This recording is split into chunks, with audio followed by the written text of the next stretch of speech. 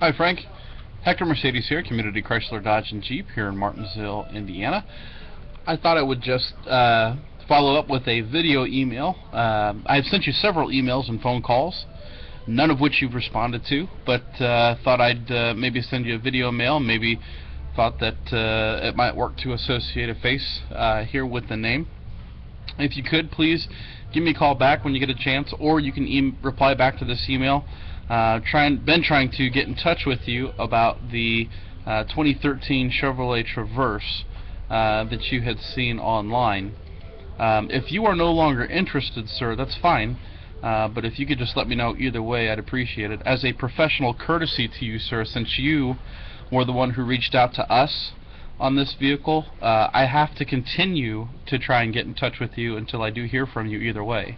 So um, the last thing I want to do is feel like a pest or a bug or anything of that nature. So if you could just let me know, you know, kind of where you're at in your process, I'd really, really appreciate that. You can reply back to this email. Give me a call at 317-488-7267. That's my cell. You can call or text that number. Um, or you can call uh, the dealership here, 765-342-5000. Thank you.